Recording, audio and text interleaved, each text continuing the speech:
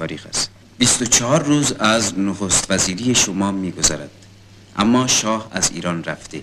آیت الله خمینی مصمم است به ایران بیاید. فرودگاه های کشور بسته است. ارتش دو روز است در تهران دست به کشتار زده. مذاکرات شما و آقای خمینی هم سر نگرفته.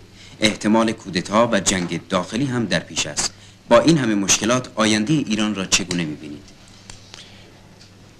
مسئله یکی نیست این سوال شما چندین سوالیشه اولا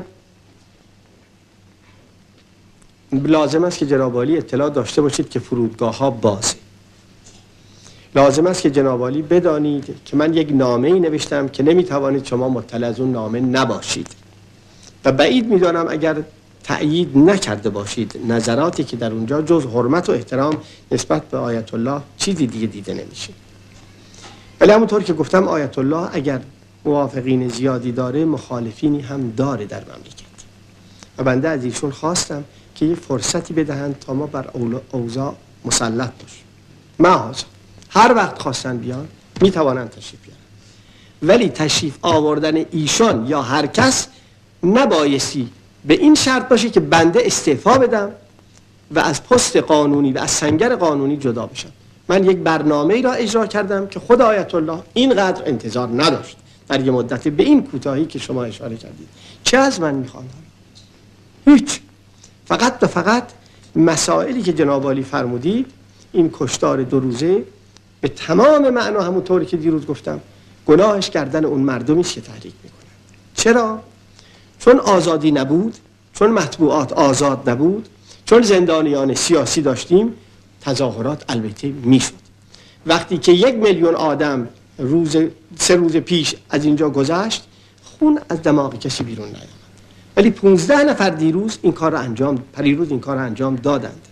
اینا مأموریت دارند که ایران را به نابودی ببرند. خب می‌برند دیگه. ولی من میستم که این کار نشه. اگر که بنا باشه که هر کس در مملکت هر چه خواست بگه این دموکراسی است ولی وقتی که هر چه خواست بکنه این دیگه آنارشیسم هم نیست. هیچ مملکتی قبول نخواهد کرد. وقتی که ستاد ژاندارمری شما محاصره می‌کنید ژاندارم وظیفه داره از خودش دفاع کنه از اسلحهش دفاع بکنه. این مملکت جمهوری باشه اسلامی دموکراتیک چه می‌دونم سلطنتی باشه مستبد باشه فاشیست باشه این مسائل مسائل بنیادی است. هیچ کسی می‌تونه اینا رو قبول کنه. از این جهت آیت الله خمینی هر وقت تشریف بیارن مقدمشون مبارک است. بنده گفتم حاضرم تأمین بکنم تضمین بکنم ورود ایشون را. یا خود دوستان و اطرافیان نزدیکشون بکنن. اون امری صلاحیتی ولی مسئولیت نباید لوس بشه. وقتی هم آمدند اگر برنامه هایی دارند و ارائه بیدند با کمال احترام ما گوش خواهیم داد. ولی اگر می‌خوان نخست وزیر بشن یا چیزی شبیه به این بنده در جای خودم بسیار راحتم با تمام مشکلات.